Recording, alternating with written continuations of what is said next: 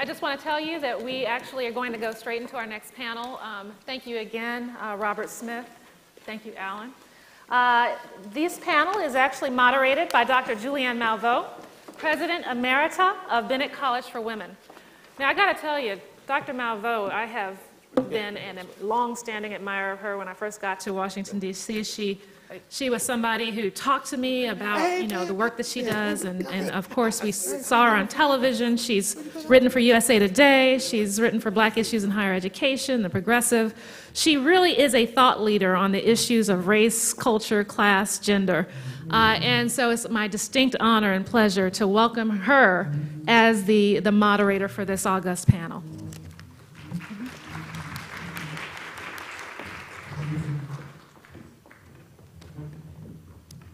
Well, good afternoon, everyone. Come on, wake up, y'all. I know you could not sleep after you listened to that millionaire brother talk about all his money. so, again, good afternoon, everyone. I, first of all, want to thank Maya for her work in putting this together. It's a long overdue opportunity for us to talk about the wealth gap. We spend too much time talking about the income gap, and in terms of this particular panel, to talk about the tax code. Because I don't think we think often enough about the ways we transfer dollars with taxes. I will tell you a funny story that will date me clearly. I worked in the Carter White House, uh, so that dates me clearly. Um, we don't have to say any more about that. But in any case, I was tasked with looking at a piece of legislation around Social Security. I worked at the Council of Economic Advisors. So I was tasked with looking at a piece of legislation to make sure that the legislation um, did what we said it wanted to do. Now, I'm a city person, so anything that has to do with agriculture leaves me. Why am I talking about agriculture in the same context of Social Security? Because they had an amendment in the Social Security bill that restricted the exportation of rutile to one Texas company. I don't even know what rutile is. Well, someone explained to me it was a hemp. Of course, this was the 70s, so I thought they meant marijuana. Um, but it's a, it's, a, it's a hemp that um, apparently there's a lot of use for overseas. But someone had created a law, a, no, created a monopoly by allowing only one company to export this rutile. And in the conversation, of course, because I was green behind the ears, I don't think I'd actually got my doctorate yet. Not that that gives you automatic intelligence or anything. But um, I tried to, I talked to my boss and I said, I don't understand this. Why did they? They said, well, they were very close to a senator. So this piece of, the, you see the amendments, if you look at legislation, you'll see the amendments, which are gifts to people. When someone is restricted to who can export or who can import, it's a present. They might as well wrap it up, put it with a nice balloon on top of it. But this happens more often than we know. Meanwhile, back at the ranch, when the least and the left out advocate for something, something is wrong with us. People talk about people with their hands out. But if you go through carefully and look at hands out, looking carefully at our tax code and at our budgets, you will find that the least and the left out don't have their hands out at all. The Securities and Exchange Commission, the regulation of it is a gift from us to the people who are investing because their basic lives are being regulated out of tax dollars, which means they're not, someone's not ripping everybody off, just us. Um, speaking of banks, but I'm not, I'm not going to go there. What I wa really wanted us to do is to think a little bit about the way that, that transfers work. When we look at this whole issue of tax code, I know all of my colleagues here will talk about the earned income tax credit in one way or another, uh, because that is one of the few things that actually says, here is something for you people at the bottom.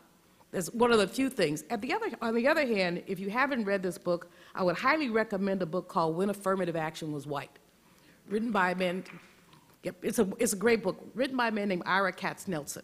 And why the book is relevant in this context is because millions, if not billions, of tax dollars were spent in the post-World War II period transforming former soldiers who were working class into middle class people. They got free education, they got fair housing loans, subsidized loans. The book is about 250 pages long, and I think every page you learn something else that was a freebie. But they were not, black men in Mississippi could not get the free education because they had to go through their board, their state board, who would say to someone who wanted to get a BA, oh, no, that's okay, why don't you go get a, a barber's license? We'll pay for that. So you ended up in, in the state of Mississippi with fewer than a 1,000 men, black men, that is, and almost 10,000 white men, but fewer than 1,000 black men who had the opportunity to take advantage of this. Again, these are tax subsidies, literally from the pot from everybody into the small group of people. So again, I don't want to belabor the point, I'm just the moderator. Uh, But I did want to make the point to kind of help folks think a little bit, we- even as you talk about coding that is explicit, we also want to think about the implicit ways that the wealth gap is widened when people make public policy that is either unconscious or very conscious about leaving people out. And so again, as I said, I'm happy to uh, be here with this distinguished group of colleagues who basically have been looking at tax fairness, and it's an important thing to look at, especially right now. The Republicans, and I was told I can't come in here and say anything partisan, so I just didn't. Um, okay, so I said, you, I know the young man who called me up and said, "You can't say anything partisan." I said, "Did they ask me to come?" Um, but whoever's marking up the budget right now, whoever they might be, uh, who happens to have the majority in both houses, but that would not be partisan comment either, um, essentially are talking about increasing defense spending, but cutting by $14 billion pre-K education, medical research, and job training. Pre-K education, medical research, and job training. Now, if anybody has paid the slightest amount of attention to Baltimore, one might understand that the uprising there uh, just very much like the Tea Party in the 18th century, just for the record. Destruction of property does not make you a thug. If it's uh, in certain contexts, it makes you a patriot. But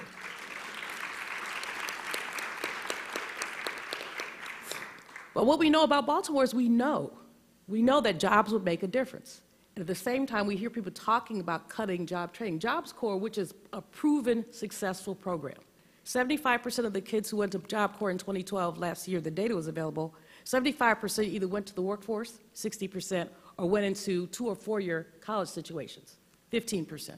So while we're talking about tax fairness, we see that the other way that you basically increase the wealth gap, broaden the wealth gap, is when you decide that programs that benefit some that would help them close the gap get cut and disappear.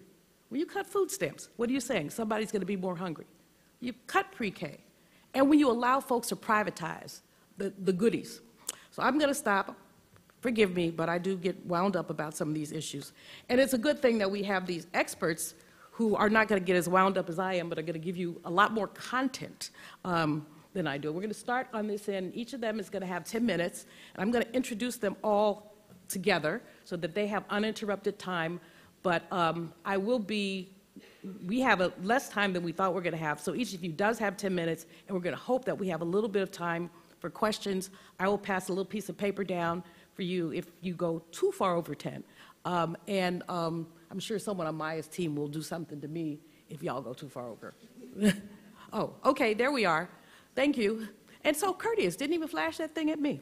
I love it. okay, so the first person we're going to hear from is Jeremie Greer. He is the Vice President of Policy and Research Corporation for Enterprise Development. He's done work on, and I know everybody has a package, and so I don't believe in reading to literate people, um, and I'm assuming everyone in here is literate. And if you're not, see somebody on your way out. But, uh, but in any case, basically looking at expanding opportunities for low-income people and for their communities. And he's had a number of um, positions in that area. And I'm happy, to, when I read about him, to know that he'd been working a little bit in my neighborhood in Shaw, uh, 14th and Q. So in Shaw, and um, working with small businesses and business development. So we're going to look forward to hearing from him. Frank Clemente, if I don't know you, Frank, I must. 88 Jackson campaign? Yeah, me too. Um, we were all Jackson, most of us were Jackson babies. Anyway, um, not in the literal sense. Uh,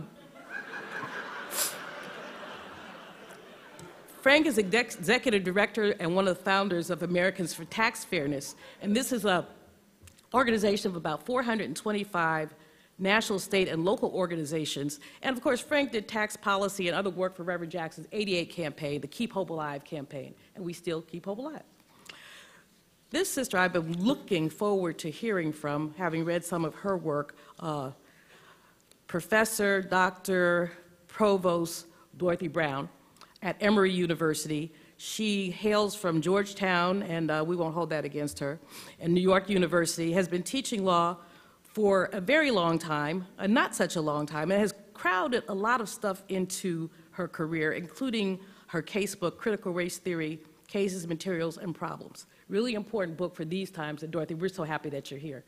And then finally, and I'm not, I promise not to mess up your name, Ida Rademacher, is that correct? Close. Okay. Never want to be certain when I'm not. But she is executive director of the Initiative on Financial Security at the Aspen Institute. She led the uh, Workforce Strategies Initiative at Aspen uh, before that, and she has worked on public policy and tax issues, financial security, and consumer finance, testifies before Congress. You know the drill. This is a group of wonderful policy wonks, wonderful policy wonks, and I'm going to sit down, take my seat, and have Jeremie start.